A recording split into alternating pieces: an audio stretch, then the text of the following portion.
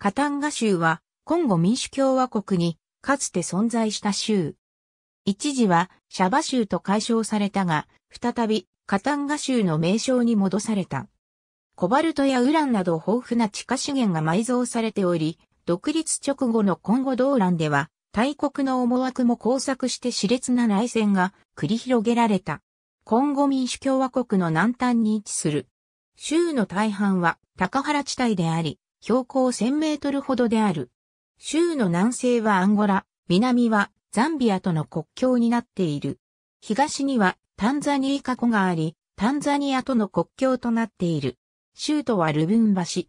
豊富な地下資源を有しており、とりわけ、コバルトウランといったレアメタルを産出する。そのため、資源をめぐって独立後も諸外国を巻き込んだ大規模な内戦が起こった。今後動乱時の勢力分布。青の地域がカサブブ政府、赤の地域が偽善が政府の支配領域。黄色の地域は南火災鉱山国、緑の地域がカタンガ。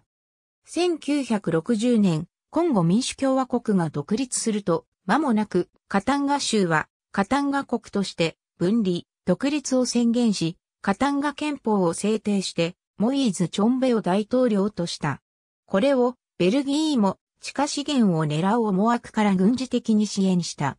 しかし、国連軍などの攻撃によって1963年に独立を断念し、チョンベは亡命を余儀なくされた。1971年、モブツ大統領のザイール化政策に伴って、スワヒリ語で、銅を意味するシャバに襲名を解消した。カタンガの分離、独立を狙う今後解放民族戦線の勢力は、モブツを恐れて、アンゴラへ脱出した後も、勢力を保持していた。1977年に、キセンギに HQ を置く FNLC は再び、シャバ州へと軍を進め、ディロロ、カサジ、ムチャチャなどを占領したが、西側諸国の援助を受けたコンゴ政府はこれを鎮圧することに成功した。翌1978年、FNLC はザンビア川からシャバ州へと攻め込み、鉱山事業関係で多くの欧米人が生活するコルベジを占領し、FNLC が多くの人質を手にすることになった。これに対して欧米諸国は軍事介入を行い撃退に成功したが、多くの白人が死亡、行方不明になった。1997年にコンゴ民主共和国が誕生すると、再び襲名をカタンガに戻された。